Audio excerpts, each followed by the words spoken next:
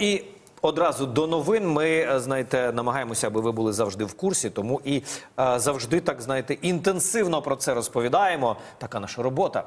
Радник голови офісу президента Михайло Подоляк заявив, що інформація про українські ДРГ на території Росії це чергова провокація самих росіян. Там хочуть налякати своїх, щоб за рік війни бодай якось виправдати напад на нашу країну і зростаючу в Росії бідність.